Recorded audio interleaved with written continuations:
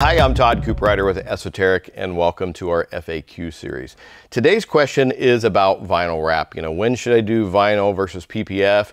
Or if I'm doing like a blackout package, when should I do vinyl versus uh, uh, having something painted? First things first, let me talk about like a full car wrap. You know, a lot of people like changing colors or changing up uh, a look, or maybe they want to take their car and do a stealth look. They've got a black car, they want a, a matte black uh, uh finish, and they're gonna look at having vinyl done versus a satin PPF uh, install.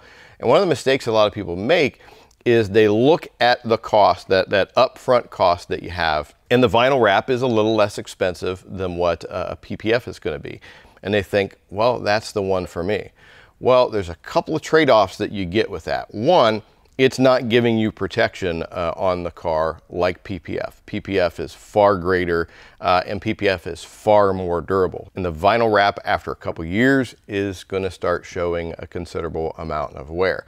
Now, the next thing that comes up that nobody talks about is the removal and the removal cost involved with vinyl wrap. We just had a car in here recently, a couple weeks ago, Audi TT that was a, a complete color change vinyl wrap.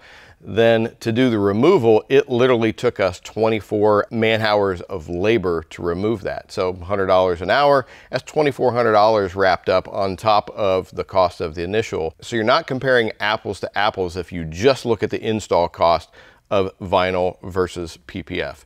PPF, you know, you may have three or four hours involved in the removal, whereas on uh, the vinyl, you have a tremendous amount of labor and cost that goes along with it. Now, the other uh, side of vinyl is when we're talking about like blackout packages. Let's say you've got a Mercedes E63S uh, that, that you want to change out or you want to finish out the look of it.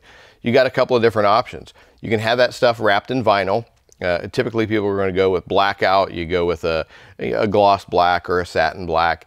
Uh, on there. So you can go with vinyl and do that, or you can have them painted. Now, when you have them painted, it's obviously more permanent. You can't just easily go back to what you had before like you can with vinyl, but the finish quality looks much, much better.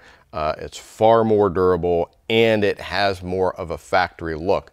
Whereas when you go in and you do it with vinyl, it has a you know modified or, or temporary uh, look to it. Vinyls today are getting much, much better. They look fantastic, but nothing compares to what you can do with painting. And when you're talking about emblems and such, you simply can't wrap that in vinyl. It has to be painted.